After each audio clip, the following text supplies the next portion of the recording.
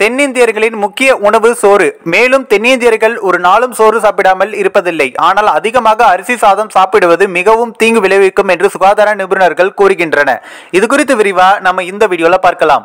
இந்தியர்களின் முக்கிய உணவு அரிசி மற்றும் கோதுமை. குறிப்பாக தென்னிந்தியர்களின் முக்கிய உணவு இது. அரிசியில் விதவிதமான உணவுகள் தயாரிக்கப்படுகின்றன. அரிசியிலிருந்து தயாரிக்கப்படும் உணவுகள் உடனடி ஆற்றலை தரும். தென்னிந்தியர்கள் ஒரு நாளும் சோறு சாப்பிடாமல் இருப்பதில்லை. சிலர் மூன்று வேளை சோறு சாப்பிடுகிறார்கள். அது மட்டுமின்றி ஆனால் அதிகமாக அரிசி சாதம் சாப்பிடுவது மிகவும் தீங்கு விளைவிக்கும் என்று சுகாதார நிபுணர்கள் கூறுகின்றன உடலில் போதுமான நார்ச்சத்து கிடைக்காவிட்டால் மலச்சிக்கல் போன்ற பிரச்சனைகள் தொடங்கும் என எச்சரிக்கப்பட்டுள்ளது. எனவே மூன்று வேளை சாதம் எடுத்துக்கொள்வது நல்லதல்ல என்கின்றனர் ஊட்டச்சத்து நிபுணர்கள்.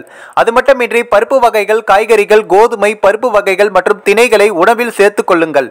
இவை அனைத்தும் செரிமான அமைப்பை ஆரோக்கியமாக வைத்திருக்க உதவுகிறது.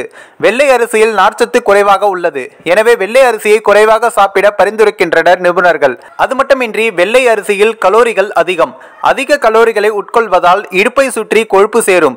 எடை அதிகரிப்பு ரத்தத்தில் சர்க்கரை அளவு அதிகரிப்பு போன்ற பிரச்சனைகள் ஏற்படும். எனவே மருத்துவரின் ஆலோசனைப்படி அரிசி சாப்பிடுவது நல்லதல்ல. அது மட்டுமின்றி மற்ற தானியங்களுடன் ஒப்பிடும்போது வெள்ளை அரிசியில் ஊட்டச்சத்துகள் குறைவு. இந்த சத்துகளின் குறைபாடு எலும்புகள் மற்றும் பற்கள் உட்பட பல பிரச்சனைகளுக்கு வழிவகுக்கும். ஊட்டச்சத்து குறைபாடு வேறு பல பிரச்சனைகளை உண்டாக்கும். தினமும் அரிசி அதிகம் சாப்பிட்டு வந்தால் நோய் எதிர்ப்பு சக்தி குறையும் என்று நிபுணர்கள் கூறுகின்றனர். இந்த ஒரு வீடியோ குறித்து உங்களோட கருத்துக்களை நீங்க மறக்காம கமெண்ட் சொல்லுங்க. நம்ம ஏஷியநெட் நியூஸ் தமிழையும் சப்ஸ்கிரைப் பண்றேங்க.